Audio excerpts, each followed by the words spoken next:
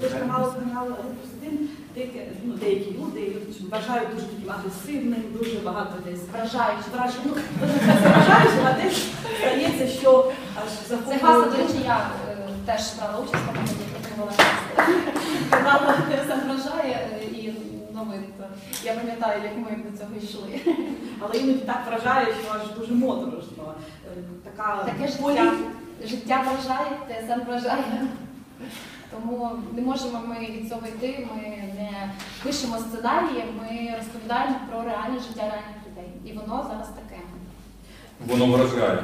Колись давно, пам'ятаєте, була яка був сюжет на такий один, як, наприклад, в якому було сказано, що маріупольці їдять біля ши та п'ють пиво. Ну, ви пам'ятаєте це? Це ще було до, АТО, на каналі був такий сюжет. Дуже образились Журналісти вийшли на центральну вулиці, побачили, як в обідню перерву. е, Люди Да, да, їдять, да, да, да. Їдять біля шиї. Вам здається, зараз місто змінилося? Ви знаєте, і змінилося, і, і не змінилося. Просто ті люди, які тут є таким осередком, ядром, мотором державності української, активні люди, цікаві, творчі, вони просто стали більш активними, мені здається. Да. Тож І, ми це, і насправді це рятує місто.